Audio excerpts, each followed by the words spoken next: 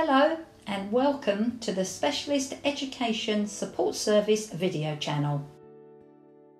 I am a specialist teacher working with children with a range of complex learning needs. During this video, we will look at ways to use threading activities to develop your child's ability to use their hands and fingers. Often referred to as fine motor skills. The better they get at using their hands and fingers, the more they will be able to do for themselves. Such as playing with their favourite toy, dressing,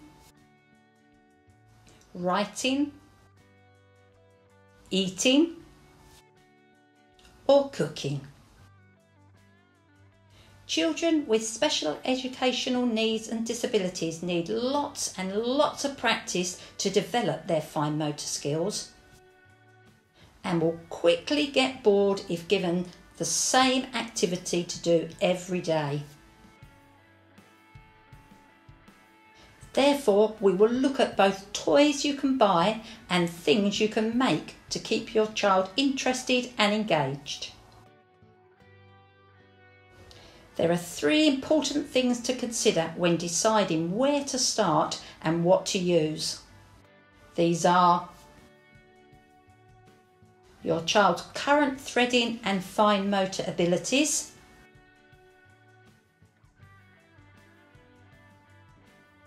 If we make the activity too hard, they'll be put off before we start. The type of resources and toys your child likes to look at and play with. Because you want the resources you use to capture your child's attention. And finally, safety.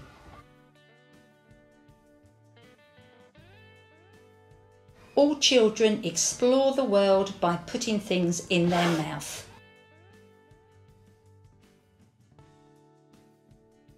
And children with special educational needs and disabilities will often continue to do this for a long time. It is therefore very important that you sit with your child whilst they are playing so they do not choke on any of the resources. Let's have a look at some different threading activities. Starting with the easiest and gradually getting more difficult. Start by using a static pole over which resources can be placed. Make sure the pole you have chosen has a flat, wide base so it does not move whilst your child is trying to thread on the pieces. Here are two examples of toys you can buy one wooden and one plastic with large, easy to hold rings.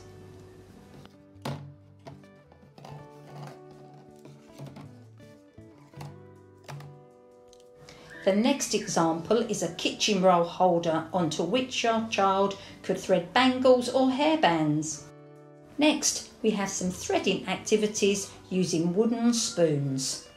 This activity is harder than the static pole because your child has to hold both the wooden spoon and the item they need to thread onto the spoon.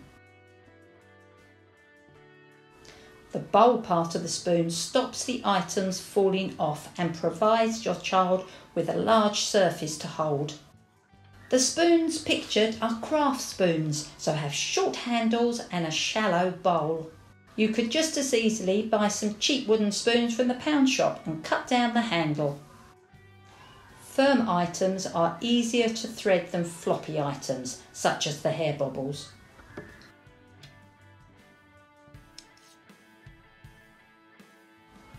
Threading items onto a chopstick would be an alternative to using a spoon.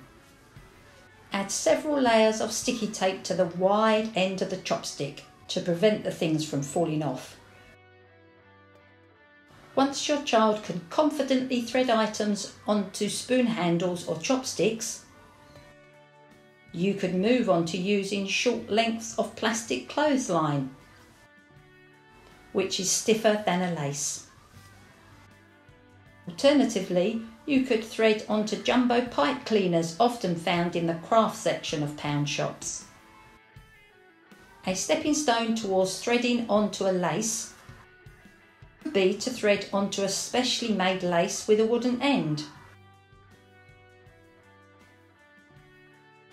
Or you could add a few layers of sticky tape along the end of a shoelace to make it easier to insert into the holes of the items to be threaded. Threading resources. The items you want your child to thread need to be easy for them to hold and initially have a large hole. There are many things on the market, but you could also make things yourself. Perhaps paint some kitchen roll middles and cut into short lengths. Or you could cut up a pool noodle. Buy some squares of felt from the craft shop and cut into small colourful squares.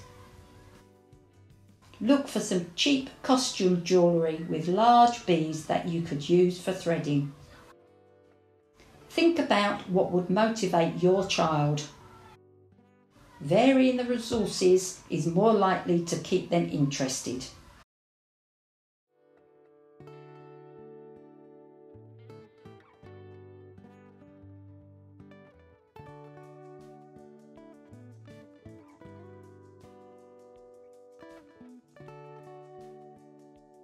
Lastly, some things to remember.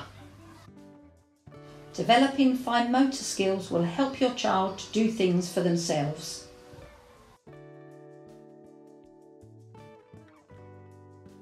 Stay safe by supervising your child as they play.